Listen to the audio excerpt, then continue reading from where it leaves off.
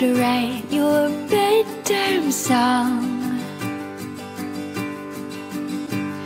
Sing it to you all night long.